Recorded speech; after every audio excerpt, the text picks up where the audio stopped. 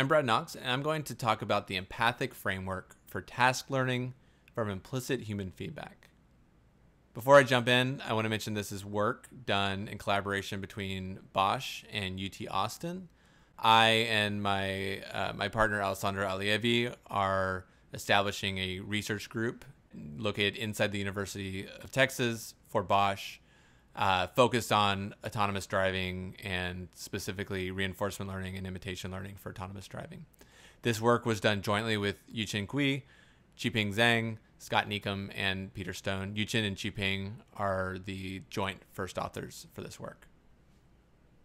First, I'd like to jump into what we mean by implicit human feedback. I'll use this example to illustrate.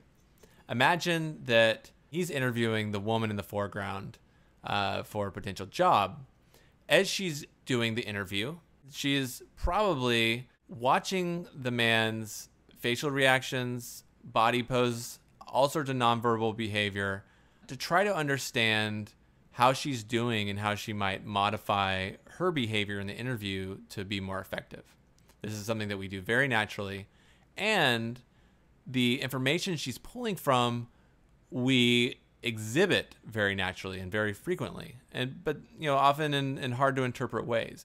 This this information is what we're calling implicit human feedback where uh, to define a little bit more what i mean is uh, feedback that is not intended to uh, teach or to influence behavior but nonetheless contains information about how another agent is performing a task.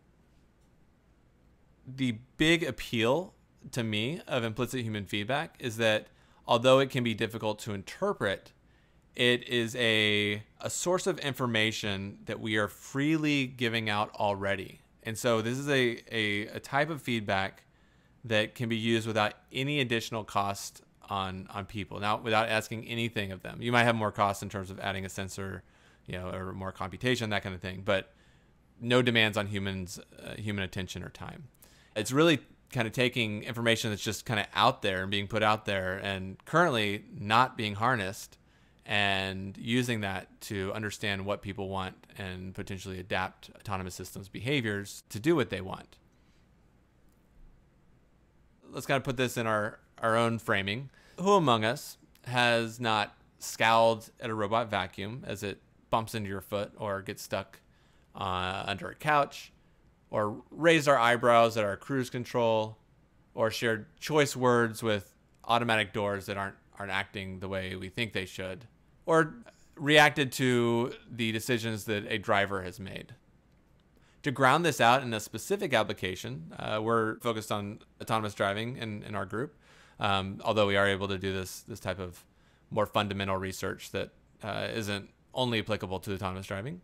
Imagine you have a autonomous vehicle and it needs to stop at a crosswalk. You've already created an algorithm that can do that safely. So that the safety is not in question. But it could slow down at different rates and the way it slows down, the deceleration profile likely is going to affect the experience of the riders and of pedestrians nearby. And so you could potentially use the reactions of these people, pedestrians or riders, to adapt the deceleration profile to create better experiences. Before I talk about how we frame the problem and our empathic framework for solving the problem, I want to talk about related work. Specifically, I'm going to focus on related work that maps from facial reactions, which our instantiation does. And first, there's work by Vivek Veeriah in his master's thesis, in which he learns a mapping from facial reactions as well as an action to the sum of future manual negative feedback signals. Importantly, there's no state in their learned mapping. And so what they are effectively doing is creating a face-based control interface of the of the agent in that uh, I believe whichever action is expected to get the the highest future uh, feedback sum is the one that's going to be taken. And so uh, importantly, the information here is not obviously useful to learn about uh, how the agent should act when the face isn't around because it is a control interface. Other work by Arakawa et al. involves hand coding a mapping from face-based emotion classification to positive or negative tamer feedback.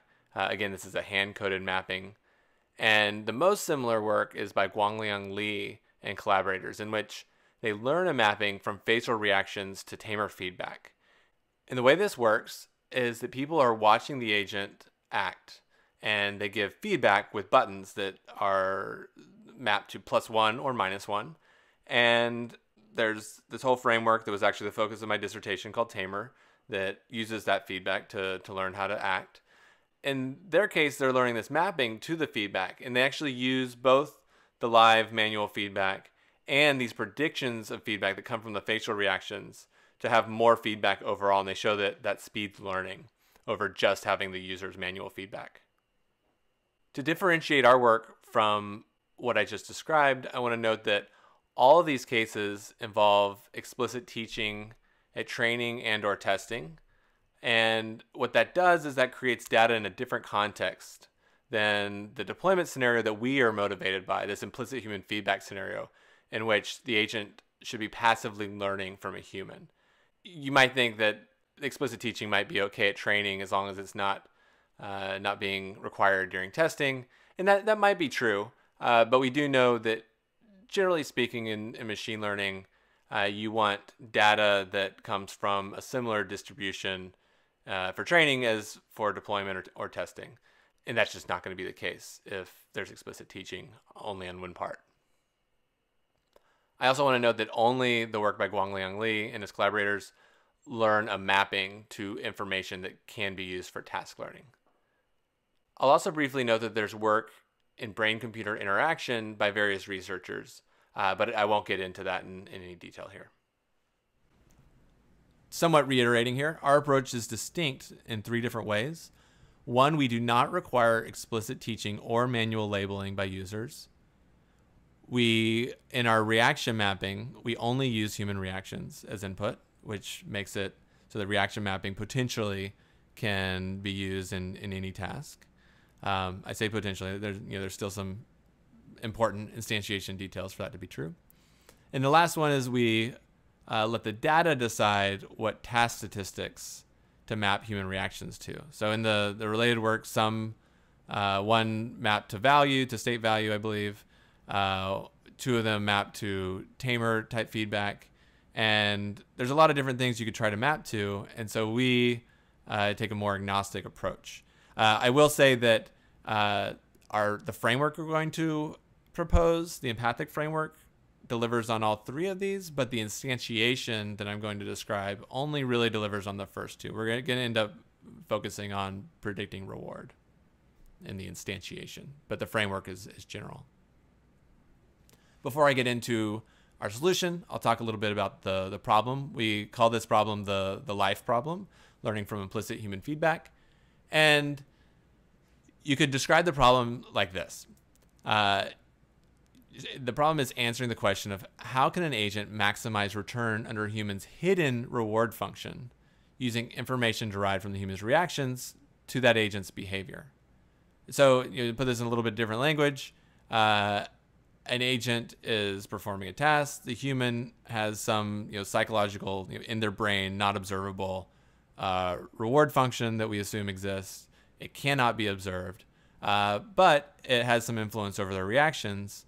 And so we want to be able to use those reactions to uh, change the agent's behavior um, so that it's going to uh, have a higher accumulation reward according to this hidden reward function.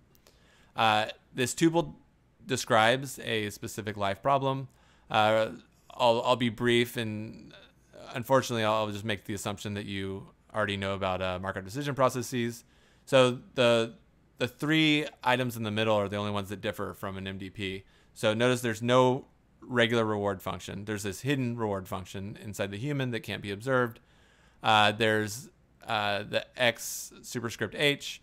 That's the set of possible observations of the human. Uh, so, for instance, if there's a camera feed on a human's face, this could be the you know the, the space of possible pixel values. And then there's uh, this this psi, which is uh, basically, it, it, says given what the agent has done and the human's uh, reward function, what's the probability that they'll react in one way or another? Um, and so these altogether describe the, the LIHF problem. And, and I won't come back fully to this, uh, this, this formulation, uh, but the approach we take in a way is learning the, the reverse of this, this psi. Um, you know, I'm, I'm saying that fairly loosely, but psi goes from the trajectory in the human's reward function to the x super superscript h. And instead, we're going to go from the trajectory and x superscript h to uh, you know in you know specific probabilities over the instances of the human's reward. Um, you know, and it can be other task statistics as well, but in our instantiation, it'll be human reward. That's the LIHF problem. Our approach to the LIHF problem we call the empathic framework. It has two stages. The first stage in, involves learning a mapping, uh, a reaction mapping go that goes from these human reactions to what we call task statistics. I'll say more about that in a second. The second is using that reaction mapping and people's reactions to understand a task, to learn about a task. I'll go into this a little bit more detail here. All right, so uh, in stage one, where we're learning the reaction mapping, you've got the agent and the environment interacting uh, in the, the typical sense for sequential decision making task. Uh, the human is observing and reacting uh, to what they're observing. Um, again, they are not controlling, they're not explicitly teaching. Um, and importantly, only in stage one, there's a full task specification. So we do know the reward function uh, for this task, and we incentivize the human to be aligned with that reward function. So we want this this hypothesized or kind of assumed internal human reward function to be as close of a match to the reward function in our task specification. And the way we end up doing that is we pay subjects uh, where the return of an agent that they're observing is, uh, I believe, proportional to their, their payout for being subjects. Um, so we got that task specification. And as the trajectory is being created, uh, various task statistics can be computed. So reward doesn't really need to be, need to be computed, but that's the task statistic. You could compute the state values, the state action values, advantage, uh, zero or one for whether the action was optimal or not for that given state. And so that gives you a lot of different possible task statistics to to store here. And uh, at the same time, these reactions are going through feature extraction. And so we end up with this data set that's a supervised learning data set uh, where the features that come out of the reactions are the inputs and the task statistics are possible outputs. And you can do supervised learning on a bunch of different task statistics and see in various ways which ones are being modeled more effectively than others. The end result of stage one is this reaction mapping, the mapping of reaction features to task statistics. And then here's stage two. You no longer have a task specification, um, but uh, a lot of things are similar. So you still have the agent environment interaction, a human observing and reacting, and those reactions are getting, uh, you know, features are being extracted from the reactions. And, but now, uh, at least in the kind of canonical version, the agent doesn't have any other form of feedback besides what's coming from the human reactions. And so the output of this reaction mapping might be reward or probability distributions over reward. It could be uh, something related to advantage or any of these other task statistics. And really, I, I might just say advantage there as shorthand, but in every case, I think we should be outputting probability distributions because of the noisiness and the uncertainty of this this sort of feedback. Um, so with these task statistics that are being generated from the human reactions, we in various ways can try to assemble an understanding of the task or the behavior that's that's being that's that's been reacted to, and from that we could change the, the agent's behavior, uh, hopefully improving the return that the agent is getting according to this this hidden human uh, reward function. And we you know reiterating we call it empathic which stands for evaluative mapping for affective task learning via human implicit cues now i'm going to talk about uh, for most of the rest of the talk how we instantiate empathic And first, I'm going to talk about getting the data set to do the supervised learning. So we wanted to craft an observation session to gather rich, authentic data. Now here we're talking about uh, this portion of the, the schematic of stage one for empathic. And we're really trying to get that, that the, the core data before computing task statistics and doing feature extraction. Okay, so here's what we created. We created a domain called Robotaxi. We told people to uh, pick an autonomous vehicle to buy. And so they pick this skin. It doesn't affect the behavior. And then we tell them, I'm going to pause it here, sit back and enjoy being a robotaxi tycoon. Your robotaxi is going to go around town and pick up passengers and make you money with their fares, and you don't have to do anything.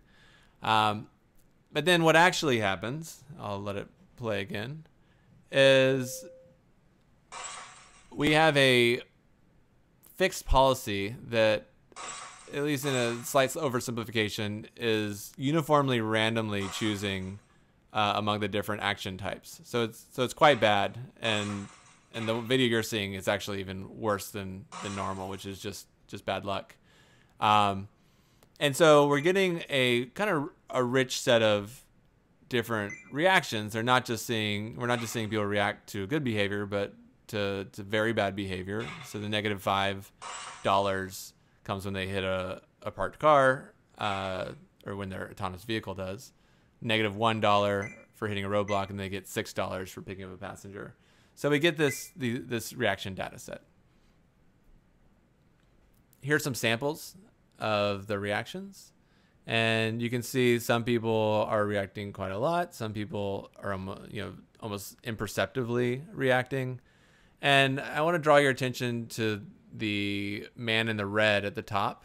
If you look at him, it's really hard to tell whether he's smiling because he's actually happy or if he's frustrated. Uh, I would guess frustrated. Uh, and in fact, I think we saw more frustrated smiles than than you know smiles in a positive context.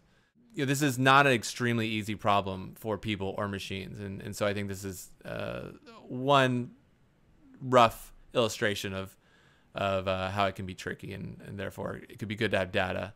Um, and the, the right thing to learn for this person's reaction might be uh, not that something good or bad happened, but that there's you know close to a uniform probability over good or bad things happening. With this data set, we took a while to do human exploration of the data, and we did it in a few different ways. Uh, the first is we did something that we called the human proxy experiment, where the six co-authors, we all acted as if we were the algorithm. And the reason for doing this was to get very familiar with the data set and the problem we were posing for the algorithm, and also just to show that this was doable at all. And so what we did is you can see up at the top here, uh, these are four frames of the game. And then on the bottom are four frames, but now the objects have been randomly anonymized. So each object type uh, was, was assigned one of three colors, and the agent's now just a circle. And so we just watched this bottom one, and we watched the person's reactions. And our job is to try to say, after watching a portion of the episode, uh, whether you know which which of these colors correspond to which object type. And more specifically, we end up ranking them. So you can see these objects. I'm going to use the objects and reward values somewhat interchangeably in this talk um, because there's a one-to-one -one correspondence. Um, but we end up ranking the, the three colors by our inference of their reward values. So I'll let you actually take a try here.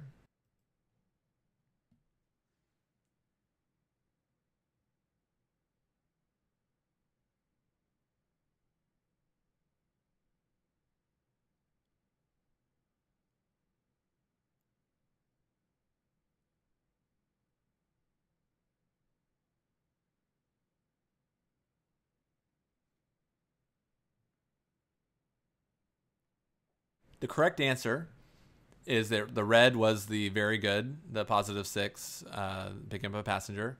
The blue was very bad, which is running into the parked car, getting negative five. And yellow was the mildly bad, which is a negative one for hitting a roadblock. Uh, this person, I would say, was on the easier side uh, for interpretation.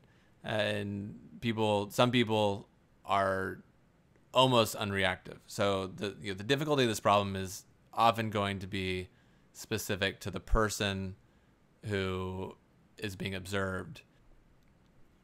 Here are the results of the human proxy experiment. You can see the Kendall's Tau scores for all six uh, authors here. I won't say anything about the, the ordering. Uh, but the way to interpret these is so Kendall's Tau uh, takes a ranking. So this is our rankings of the three objects by their reward values.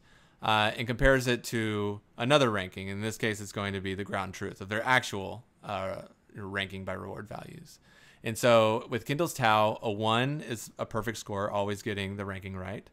And a zero means you did the same as uh, a random ordering, uh, or at least the expectation of a random ordering. And negative one is as bad as possible. You got to reverse every time of the right order. And you can see we're generally above zero. And one author at the top actually got uh, statistical significance even with multiple testing adjustments. Um, and so the big takeaway here is not that we're better than random uh, or anything about our average performance, but rather that one author was able to do better than random. And so that indicates that the information is there in the people's reactions to, to infer information about the task. This gave us a lot of courage in the kind of the troughs of sorrow in the middle where we spent really like two or three months trying to get the, the supervised learning to, to really be effective, which we did eventually. And I'll, I'll, I'll get to that. We also, the first two authors, uh, did annotations of the data of these these nine different types of annotations. You can pause and take a close look if you want. Uh, these charts, I'll just quickly explain what they are.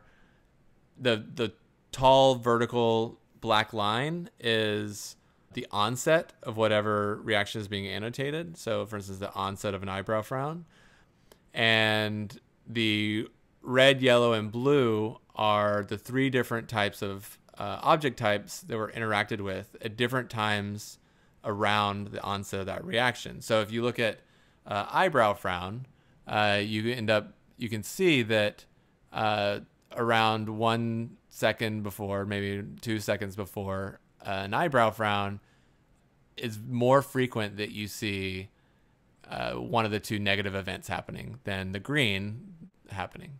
So you can kind of look at these and, and get a sense of what each of them tell us about the relationship of people's reactions and these events that have different reward values. We found these useful, again, for really familiarizing ourselves with the data and choosing which direction to go in our, our model search. Now I'm going to talk about uh, how we actually do the supervised learning and then use the, the reaction mapping. Uh, but first, because that gets a little complex, I'm going to give an overview. So here's the two stages again. Uh, we've got the, the task visualization and these task statistics. In this case, it's reward and the subject reactions. We create a classifier. Uh, it says RL stat. It should say task statistic classifier. And basically that goes from the reaction mappings to probability distributions uh, over the reward classes or whatever the task statistic is. And with this classifier, which is the trained reaction mapping, we can then apply it in uh, an anonymized version of the task. Um, so now we're getting this isn't specific to the empathic framework, but this is specific to our instantiation. So from here, from this slide on forward, be careful that we're talking about an instantiation. The empathic framework is much more general than than what I'm talking about now. But so with the, these reactions to this anonymized version of the task, the reaction mapping is going to output a likelihood of each of these events having happened and having created those reactions. And we can do various things with that, which which I'll explain. I'm going to talk now about stage one, which is learning that reaction mapping. And first, I'm going to talk about the feature extraction to create the supervised learning samples. This is a little complicated, uh, but uh, just bear with me here. So here's a here's the game, a trajectory over time. You can see a representation of what's happening in the game where there's, there's no interaction with an object, a passenger's picked up, no interaction, no interaction, crashing into a car, and so on. We're interested in making a supervised learning sample in this illustration for this one time step, which is crashing into a car. Concurrently, there are these image frames of the person, and note the frames per second are, are quite different, and they're beyond that they're they're asynchronous from these frames, we do feature extraction for every image frame. And I'll talk about how we do that in a moment. And then we reduce the number of frames by aggregating them. So we go from 30 FPS to 6 FPS uh, by max pooling. Uh, so you know, generally about five frames uh, will go into making one aggregated frame that's of the same vector size. Down here, uh, this is kind of the same process, but from a different perspective. So here's all the, the image frames to create this feature vector, we use OpenFace 2.0. It outputs a number of things, but the, the outputs we use are the facial action units, which are related to uh, a system that I believe Paul Ekman created, where it's trying, if I if I understand correctly, is trying to assess how constricted various facial muscles are. This is really good information, but uh, I've heard it characterized as, as very noisy as well when it comes from OpenFace. 2.0. Uh, and then also it has head pose information. And we feed that into a Fourier transform uh, with the idea that we want to capture whether a person is shaking their head up and down or left and right and you know possibly with certain speed.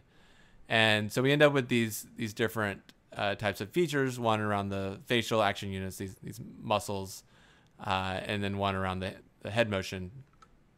And uh, if we're interested in a specific, you know, we're, we're trying to make uh, the input, the features for the supervised learning sample, we already know the reward class, uh, which is it's the negative six or negative five one, um, and we have a, a predefined time window that we're going to pull uh, reaction-based features from, and all of those are going to they're represented down here. So this is for one supervised learning sample. This is the set of aggregated frames in the window, and they're going to be flattened into two big vectors, and there's an encoding, and then they're con- concatenated, and that's going to make the input for supervised learning. So now that we have these supervised learning samples, uh, I'll talk about the modeling. And the, so the missing part here in the diagram is the that input, the the features are given to uh, multi-layer perceptron, and that is tasked with minimizing cross entropy for reward classification. Uh, we actually ended up having it uh, reduce entropy of both binary and ternary classification. Uh, I can talk about that in, in questions um, about why we think that was helpful. And then we also had the auxiliary an auxiliary task where it was trying to reduce mean squared error uh, related to predicting uh, characteristics of the, the annotations. I believe that was just predicting for zero or one whether a certain rea- annotated reaction was happening or not at any time. The auxiliary tasks appeared to be really helpful, and so it's kind of ingrained in our in what we did. But then we actually tested without it and found similarly good results. So we don't necessarily have to have uh, annotated data to to do what we we end up showing that we do. This is how we split up the the data for training and testing and also validation, and, and we have a holdout set. Um, again, I can get into detail in the questions, but I'll just say uh, each subject had three episodes they observed, and one episode was pulled away into a holdout, like hidden in a holdout set, and the rest was split into training, testing, validation, and we would do a different split for each subject. Um, and you can see this here. This is, this is the split for subject K here are our results uh, after a lot of it, you know experimentation trying to improve the validation loss, but not the holdout set loss. We save that for for later. The main takeaway here is the dotted lines. So the gray dotted line is the cross entropy loss for the the model's ability to, to predict these reward values uh, if the model always predicted the exact same probability distribution and then that distribution was was the best fixed distribution possible, which is the distribution of the various labels in the training distribution. I should mention, I don't think I mentioned before, we're only predicting the three uh, reward, non zero reward classes. Uh, so we're predicting the reward that comes when an object is interacted with. We're not including data for when uh, when no object was interacted with. Now, if you look at the red dotted line, that represents the average validation loss of the models that are created for each individual subject, uh, but then averaged together. And you can see that it's better than this baseline of the label distribution. Uh, so the reactions do seem to be helping, but it's it's hard to say whether it's helping enough to to say that we're confident that it's just not better due to randomness. From a certain perspective, this improvement from 1.1 ish to 1.05 ish or 1.06 really doesn't seem like a lot, but it actually fits pretty well with this problem of implicit human feedback where the feedback itself is very noisy. So you don't want a model that's going to be extremely confident always. And so you're going to end up with a lot of uh, you know high cross entropy loss much of the time. And in fact, that label distribution level of cross entropy loss really is kind of the, the safe thing. So if, if the reactions are non-informative, then the output should be somewhat close to that that label distribution uh, which we did choose to be close to close to uniform. I think what matters more is this next analysis where we want to use this mapping to infer what the actual reward function is over many different uh, interactions within events. This gets us to stage two, where we have a, a, trained reaction mapping, and now we're going to deploy it offline in the Robotaxi training test. So we're, we're going to have three different versions of stage two. This one we're using already collected data of people reacting to the same data set that we already talked about. Okay, so here's a representation of what we're getting out of the reaction mapping. Over time, there's these different events where the agent's interacting with these anonymized objects. And from the reactions and the reaction mapping, we get a probability distribution over what that actual event was. That happens for many different events. Three are shown here, but it would be as many times as it as the agent interacts with one of these objects. We're going to look at just one of these events to see how we use it to update our belief over different reward mappings. From this event in the output uh, here, we can think about, uh, so, so we've got these six possible reward mappings. Uh, just to kind of review here, there's these are the three anonymized uh, object types, and those could map one to one to the three real object types in six different ways. So this is one, two, three, four, five, six different mappings. And from this output here, you can get a likelihood of each of the mappings, an unnormalized likelihood of each of these mappings. And so the way this works is uh, we know the event's the pink event, so we look down the pink column, and for this mapping, if it's if it's that mapping, then this event was the, the car crash. And so we look uh, for the probability that corresponds to the car crash, and that's the likelihood, the unnormalized likelihood of this mapping. And we do it and so on. So all the dark ones are the, the actual likelihoods of, of, of those mappings, unnormalized. Using that over many different events, we assume they're they're independent and we can just multiply. So for this mapping, we just keep multiplying. We get the product of of the likelihoods over all the events. And so we get this likelihood of that mapping over the whole trajectory. And we have six of those likelihoods, one for each mapping. We normalize that. And from that, we actually have likelihoods of each of the reward mappings from that trajectory.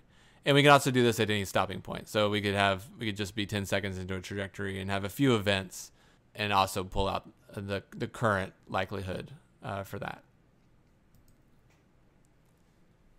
So we did exactly that for, again, this is for offline data.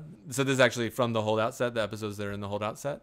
Um, and again, we're looking at Kendall's tau value, where one means a, a perfect ranking of, of the anonymized objects by their reward values. And negative one is getting them totally backwards, zero is random. Uh, orange is our reaction mapping with the auxiliary task based on annotations, and then yellow is without it. And you can see that generally it's above zero, which is good. You also can see here the human proxy average, which I don't want to put a lot of weight on But if you look at it fairly closely, and if you if I shared the numbers, uh, we do better than the average co-author. We are not trying to say in any way that that's an an important thing or that the co-authors represent any group of people in general.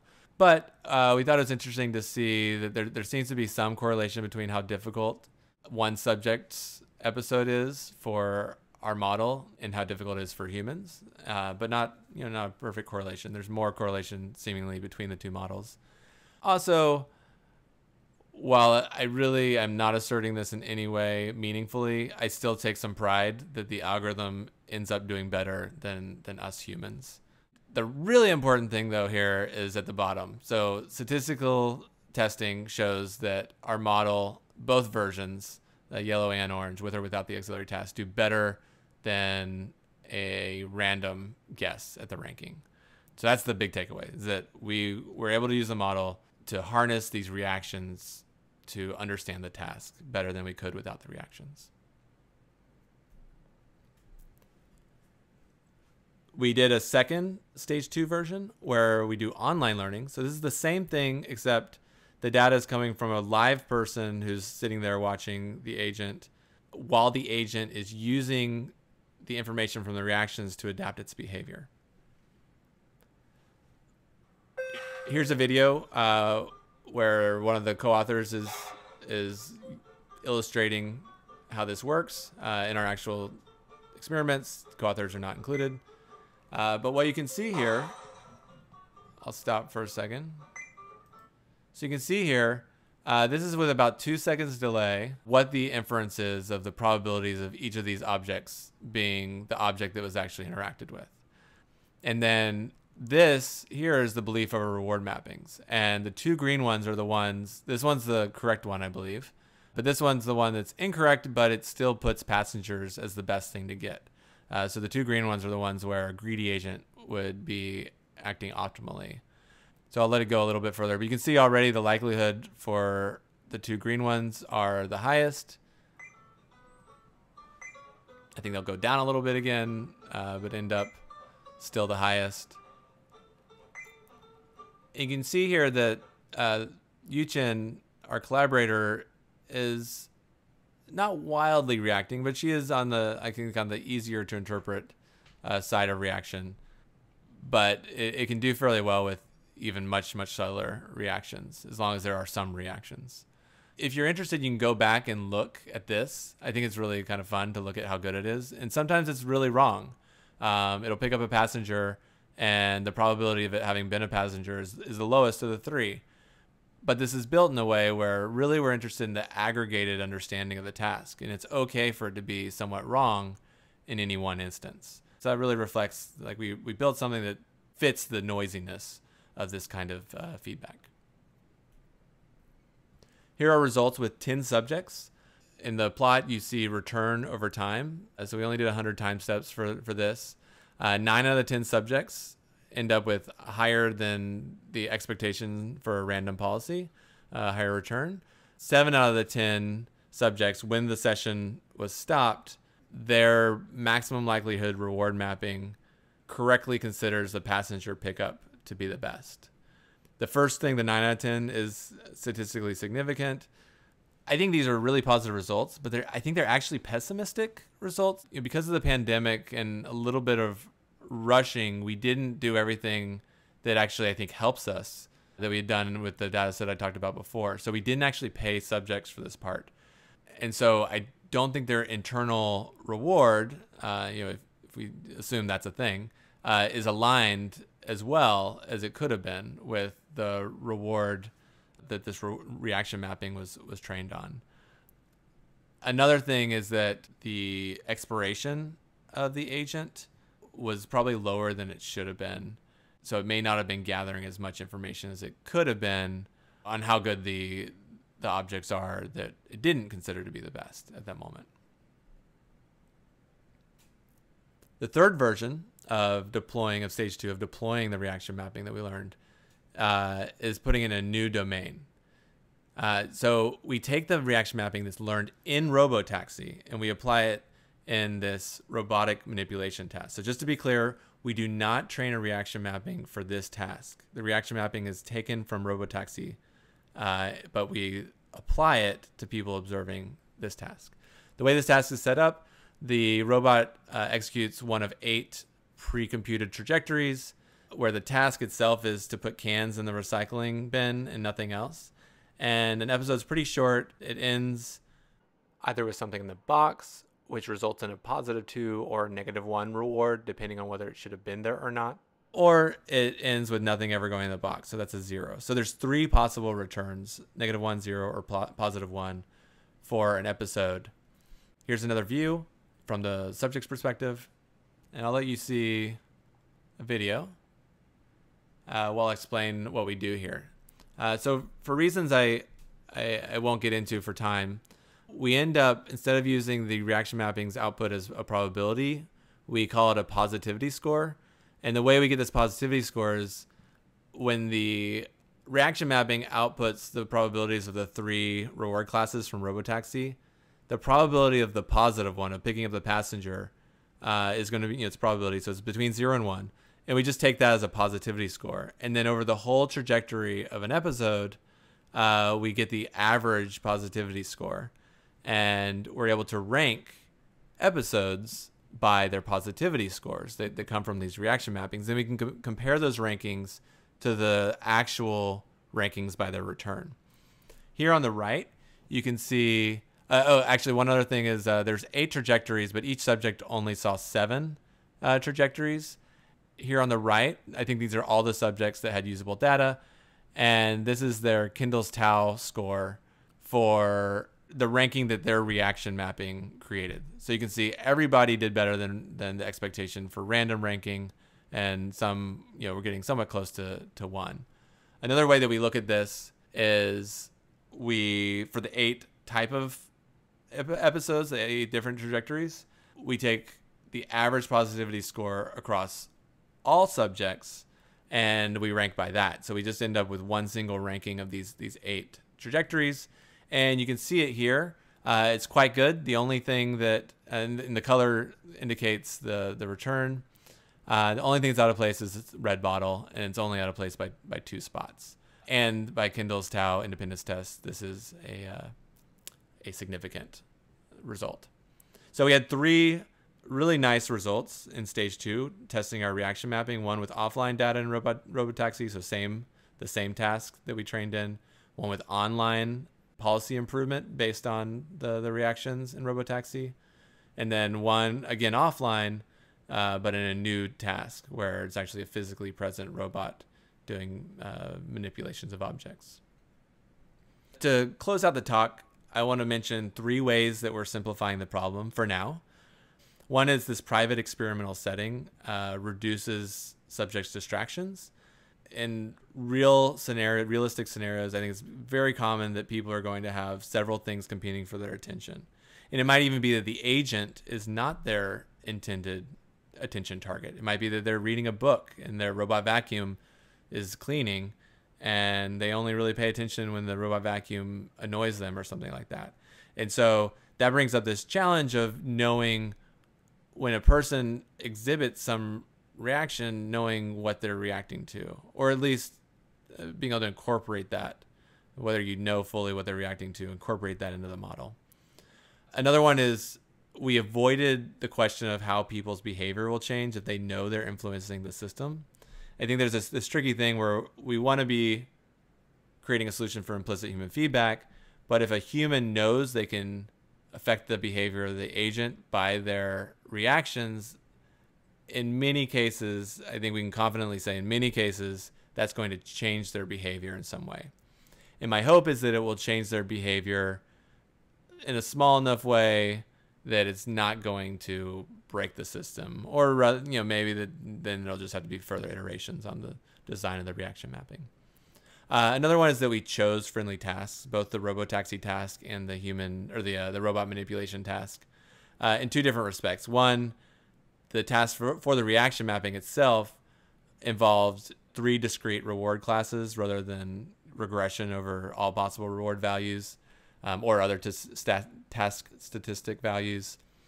And then also both tasks were what I would argue were pseudo bandit tasks in the sense that the state of the task didn't have a lot of impact on the return beyond the, the near term reward.